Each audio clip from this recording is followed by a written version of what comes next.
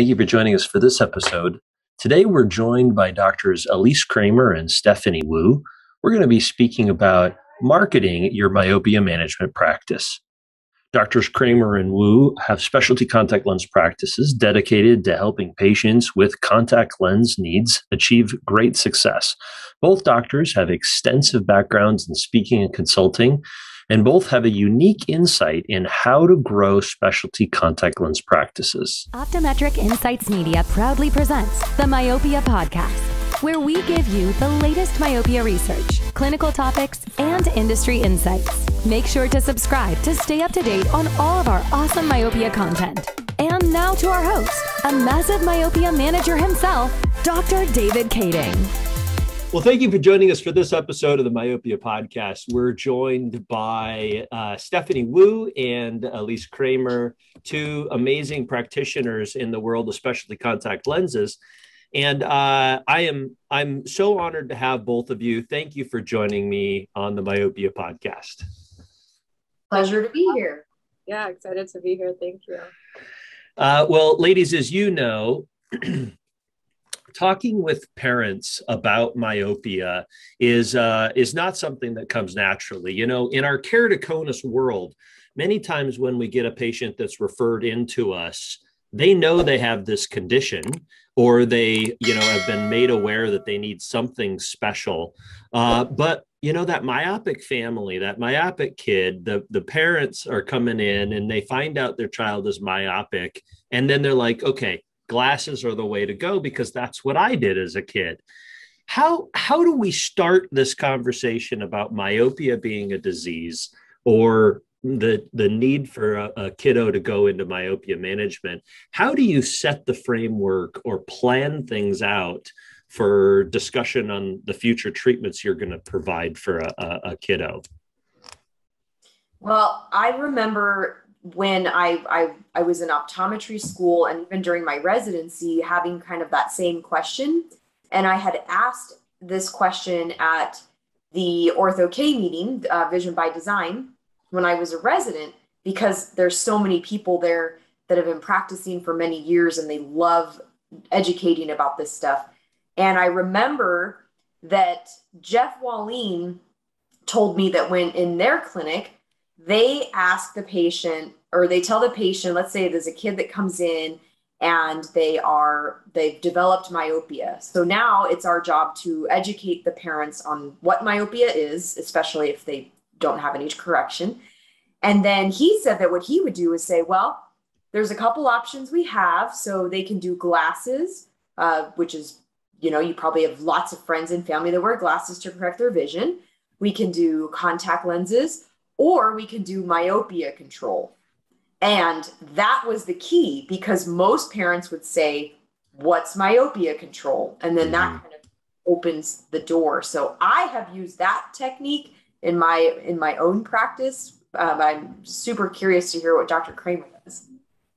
So, I um, it's a challenge for sure, and one of the things that I think is important is that although we all recognize myopia as being a disease, I think we have to be careful with that word when we speak to patients. I, I, I, tend to use the word condition a lot more, even when talking about other things, like you said, keratoconus. I just think it's like a softer, easier word, and they a lot of the time when I when I'm doing you know the refraction and then I tell them that they have myopia, they're already in shock sometimes, and so it's hard to then take that from okay you need a correction to now we have to start an intervention.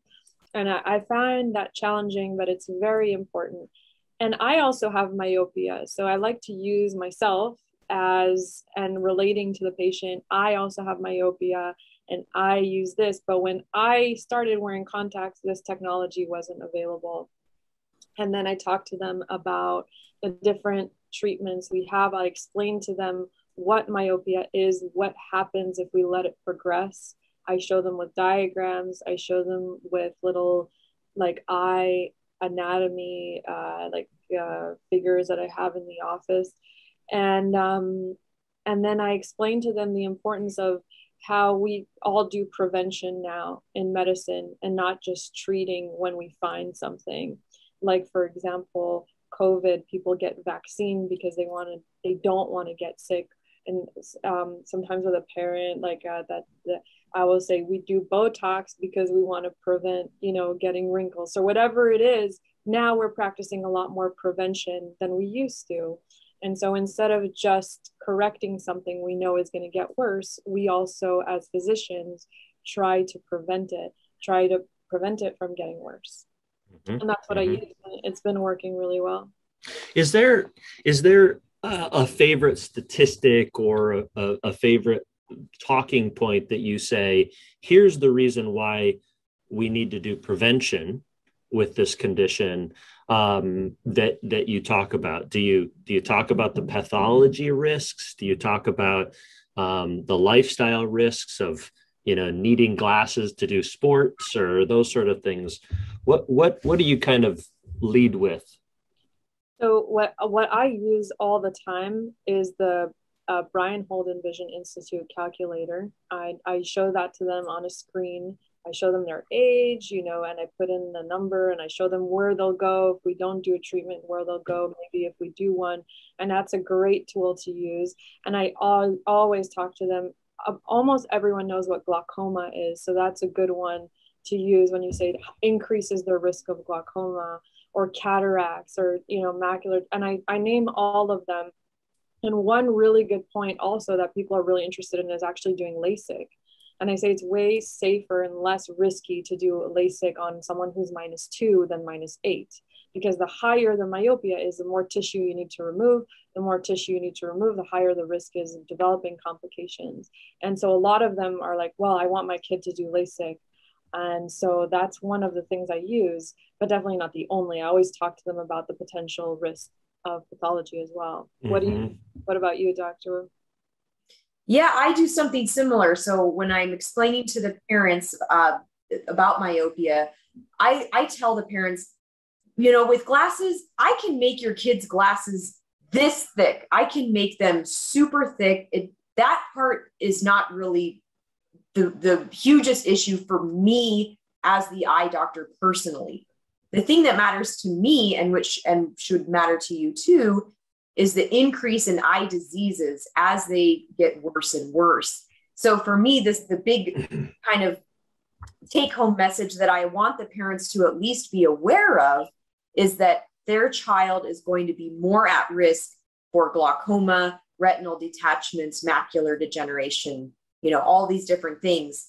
And that if that is something that we can prevent, like Dr. Kramer said, why wouldn't you do that for your child if you knew that there was something that you could possibly do to prevent that from happening in the future and i think that that is very powerful for parents to hear mm-hmm. Mm-hmm.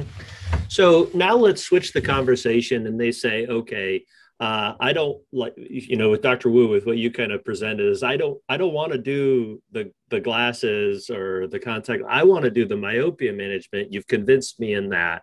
I, I want to find a way to slow this down. Talk to us about presenting options and how you go about that. And in addition, how you prioritize them or if you prioritize them for the for for the family yeah so i really think this is an art meaning that every patient is totally different their prescriptions are different their topographies are different, their family situations different, um, and the parents' comfort level. You know, so some parents are much more comfortable putting an eye drop in their child's eye once a day than and, and way less comfortable with the thought of them wearing contact lenses at a young age. And then the opposite is true. Some parents do not want any sort of pharmacological intervention at all. They want to do something more contact lens based. So I try to have the conversation and I narrow down the options based off of what that patient is a good candidate for.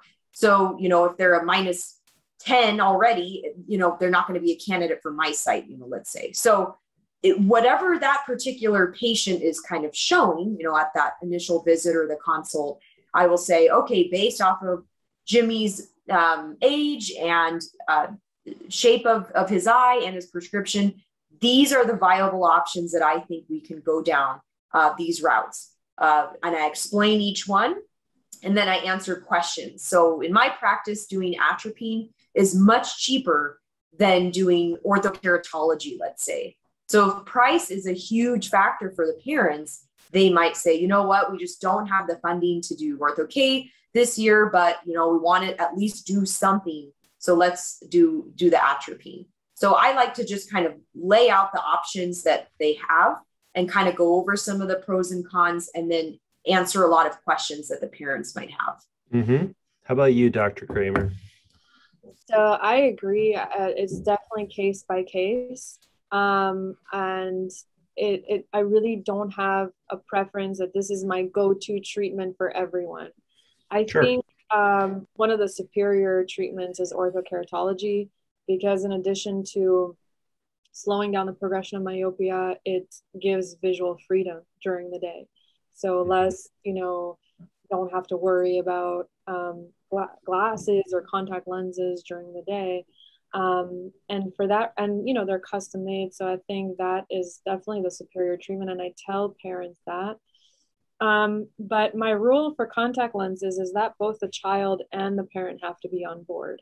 And mm-hmm. so, for example, sometimes the child comes in and wants contact lenses, but the parents are not ready. And sometimes it's the other way around either way if they're not on the same page i don't do it i don't they can go somewhere else but i don't do it if not if both people don't agree. So if they're not ready for contact lenses i go to atropine. And atropine is fairly simple and if it's done it works. And we have a lot of studies that show that. I also like to present brochures neutral brochures so not branded that sh- that show that myopia management is a real thing because a lot of people have never heard of it when they come into the office.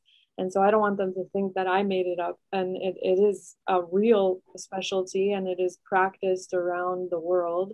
And that the three treatments that I implement in my practice are widely recognized and have been shown to work.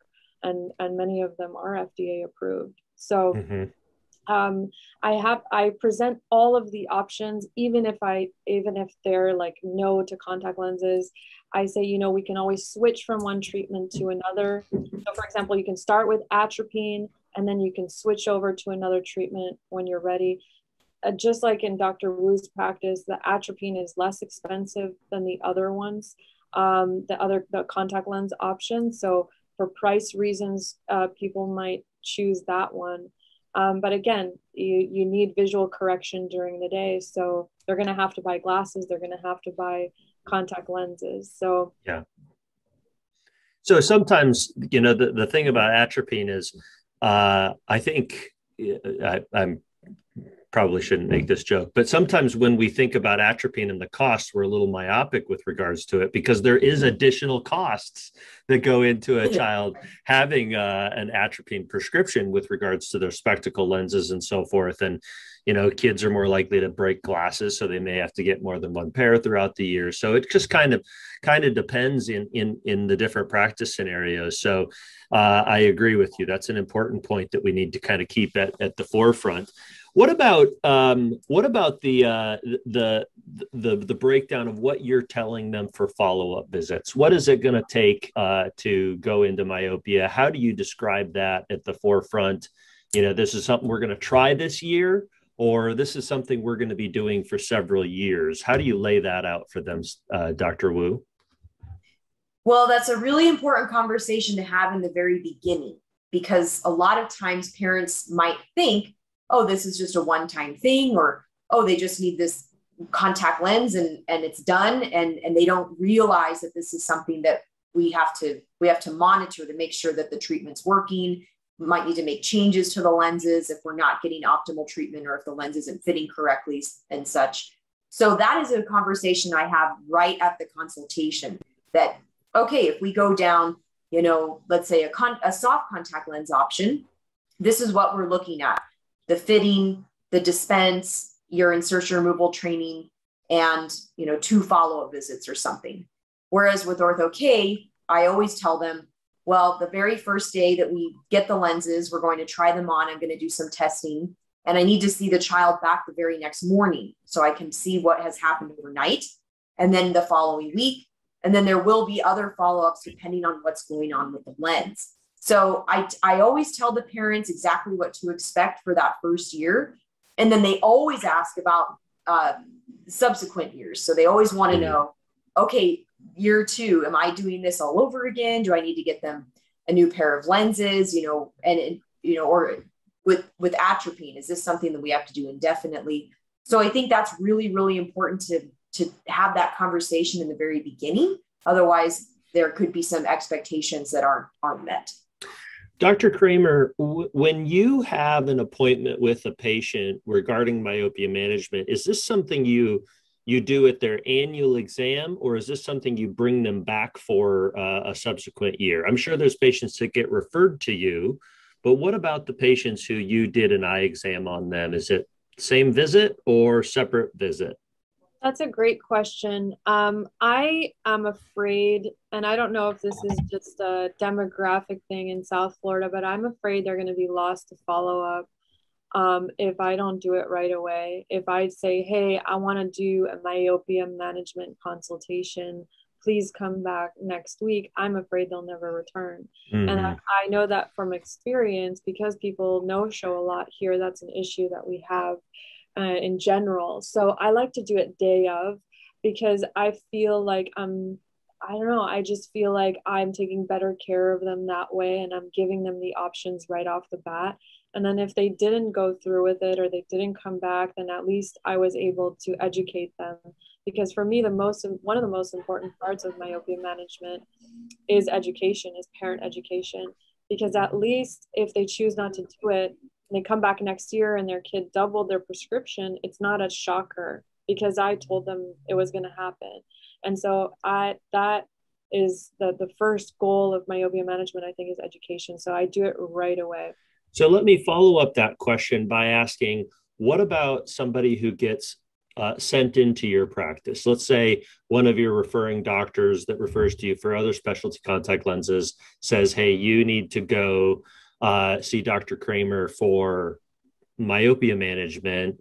Do you set that up as a, as a consultation and then you bring them back and do the fitting or whatever later or and and what how do you set up the fee for that first visit where you don't know anything about the kid right so a lot of the time they'll come with notes from their previous doctor if i examine if all we do is talk if all they want is information, it's happened to me before that I haven't charged them.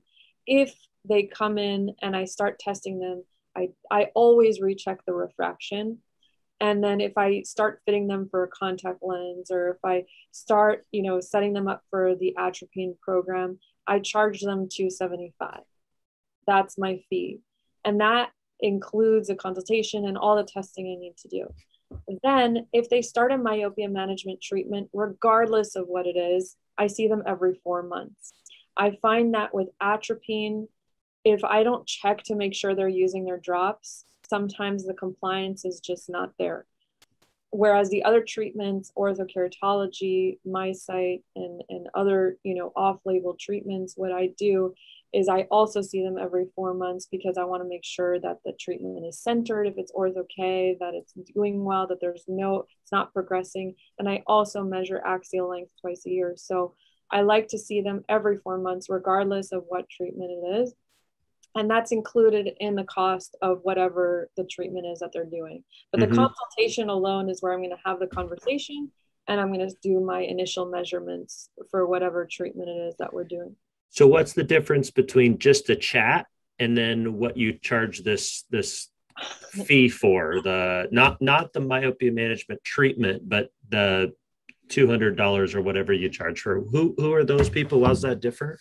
So I mean, I if a patient comes in and they all they did was get information, but they didn't move forward, which means they're they're choosing not to move forward. I kind of feel bad like charging them for just having a conversation. If I, as soon as I start measuring things, whether it's HV, uh, I see.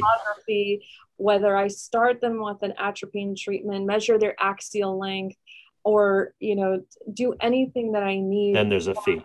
Then there's a fee. Yeah. Yeah. Yeah. Just a conversation Any... that we could have had on the phone. Sure. I feel bad, you know, charging them. So, uh, do you do anything different, Dr. Woo? Yeah, so I agree with Dr. Kramer that when I had my other practice where it was traditional optometry and I would see patients, um, I would have the conversation right then. Because if a parent was like on the fence of, oh, wait, I this might be an option for my child, then they wouldn't maybe go out to the optical area and get glasses right away. So I had that conversation right away about these are the different options. You know, do you want to talk about some of, do you want to explore this more? And then we can kind of go down the route of do we need to do like an official consult where we check the shape of their eye, this and that. But I agree with Dr. Kramer that you want to have that conversation like at that regular comprehensive exam because otherwise they may never show back up for the consult. Yeah. In my new practice, when we're just now we're just doing specialty lenses, so it's mostly referral based, we have a system in place where we have a consultation for myopia management. So it's it's a flat fee, and that it includes the consultation, the testing, some of the similar testing Dr. Kramer mentioned, and then talking to uh, one of the doctors about the different options for their child and seeing if that's something they want to go through with. Uh, a lot of doctors do free consults. I know a lot of my friends do. I, I, have a friend in Southern California. He does free consults for ortho K or myopia management.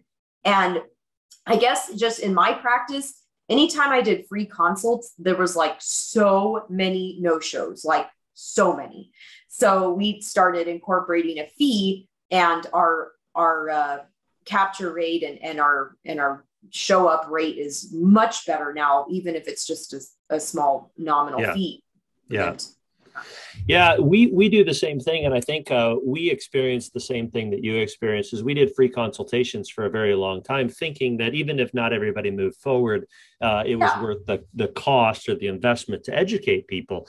So now we charge a ridiculously small amount of money uh, for people to come in for a consultation. And we have this you know discussion and visit with them. And if they move forward with a myopia management we actually credit that back included in the cost of the so it's it basically was a free visit for them then.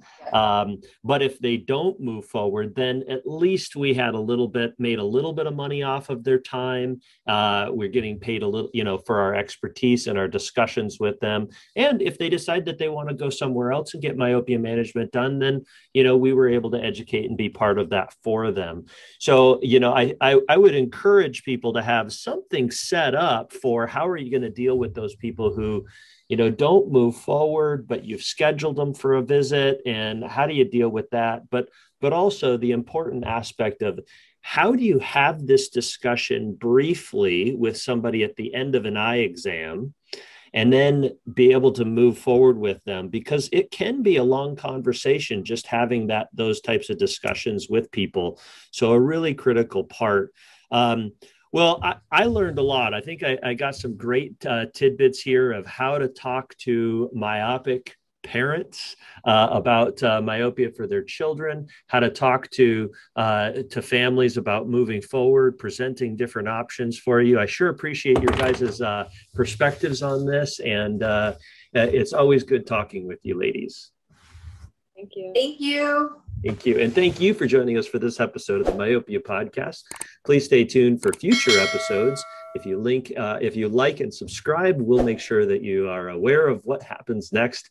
And uh, please leave us a five star review so we can get uh, more knowledge about what is important to you on the Myopia podcast. This podcast was brought to you by Optometric Insights Media. If you enjoy our content, please leave a five star review. And don't forget to subscribe for more great episodes.